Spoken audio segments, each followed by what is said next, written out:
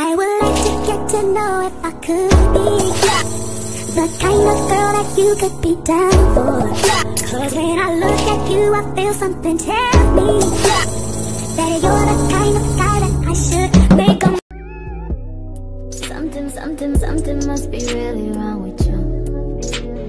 Why can't you just tell the fucking truth now?